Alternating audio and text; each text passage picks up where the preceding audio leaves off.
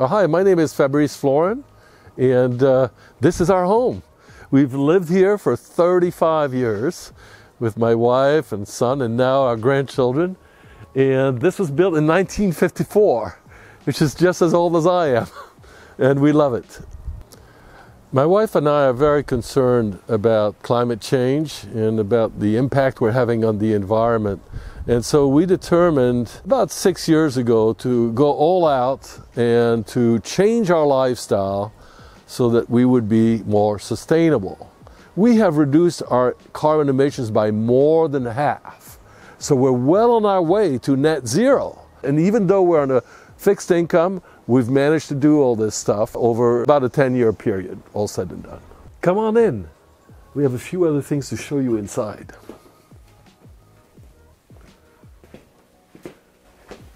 Right over here is our heat pump water heater. So when our old gas water heater broke, we didn't panic. We realized that this was the perfect time for us to switch from dirty fossil fuel energy to clean energy for our water heating. Welcome to our kitchen, where we're going to make some major improvements uh, next year. This is our old dirty gas stove. We're going to be getting a nice uh, induction uh, range with a cooktop and uh, convection uh, oven. But to test the concept before investing big dollars, we decided to begin with a small portable unit.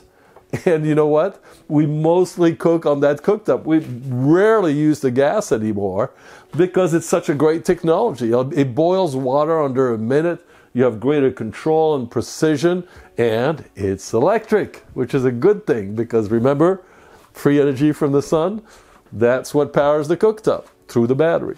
So, another way to reduce our water use is to use low flow shower heads and faucet aerators.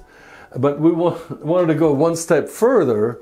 I wanted to be able to easily shut off the flow of water when I'm just shampooing my hair or you know when I don't really need the water.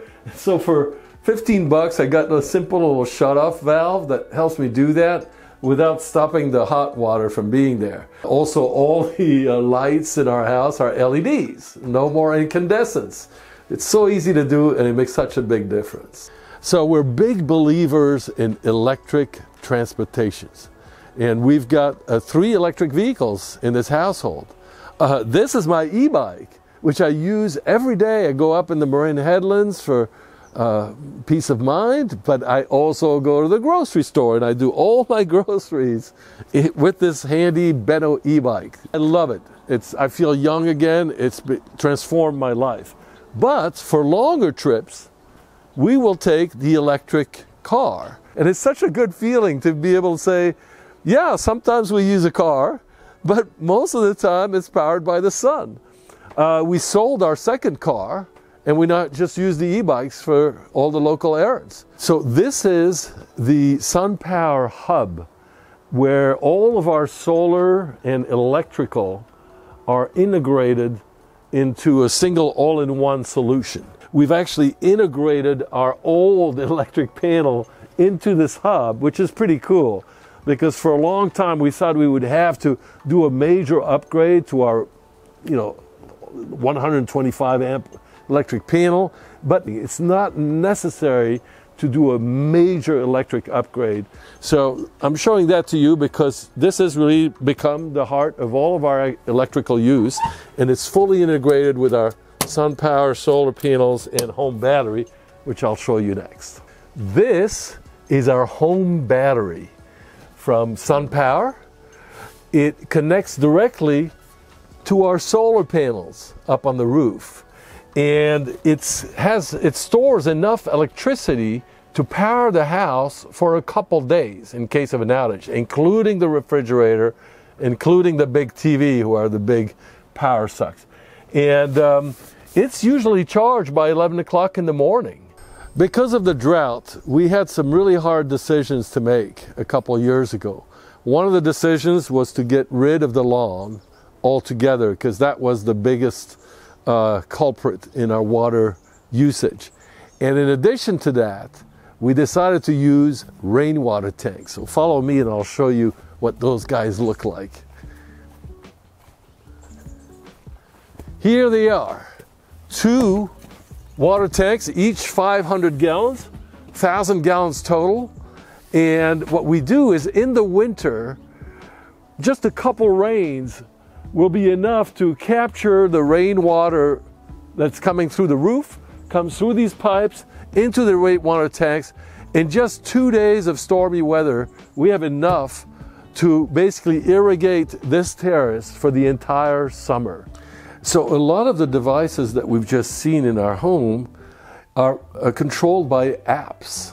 So it makes it really easy for you to see what's going on. This one here tracks how the energy from the sun is converted to electricity to power our home. This app here is Rachio, and so we control all of our zones in the garden through this little scheduling system. This set of pavers is permeable, which means that when the rainwater falls, it can go through between the pavers instead of just going down the hill and causing all sorts of flood issues, which would have been the case if we had kept our old asphalt. Here we are on the side of the street looking at the water meter. We became really concerned about our water use, but we really were not very clear on what was using the most water.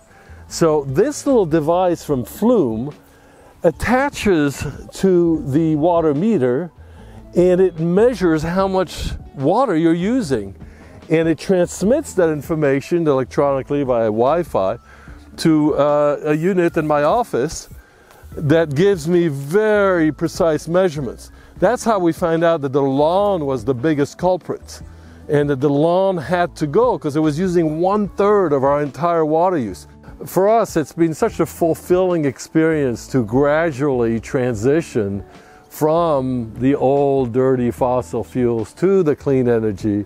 And you, you feel uplifted by doing it and you end up saving money. A good way to get on the road to uh, making a green change in your life is to join a climate action group in your area because you can learn from other neighbors. And we run a uh, climate action network here in Marin in the Bay Area, which you're welcome to join. It's called greenchange.net.